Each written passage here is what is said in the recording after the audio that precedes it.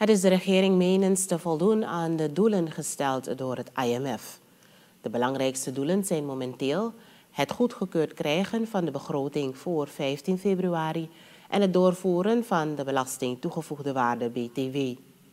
In dit kader heeft president Chandrika Prasad Santokhi gisteren een onderhoud gehad met het monitoringsteam voor het IMF-programma. Santokhi legde bij dit onderhoud de nadruk op het voldoen aan de voorwaarden die het IMF stelt voor de volgende tranche van financiële middelen. De verplichte landsdienarenregistratie is met een maand verruimd. Dit besluit is gisteren genomen in DNA, waar de beraadslagingen voor wijziging van de personeelswet zijn begonnen.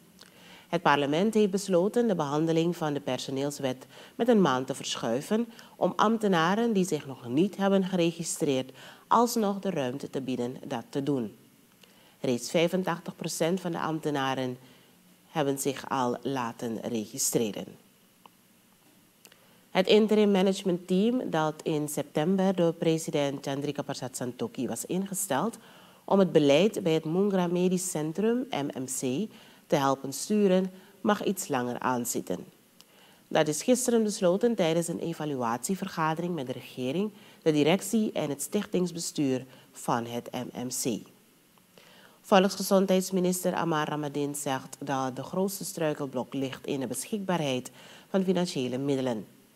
Er zijn onder andere hiervoor inspanningen gepleegd om een aantal zaken te realiseren. Algemeen directeur Shaisa Abdul geeft aan dat de financiële uitdagingen enorm zijn. De president heeft daarom reeds goedkeuring gegeven om enkele van de voorstellen te formaliseren.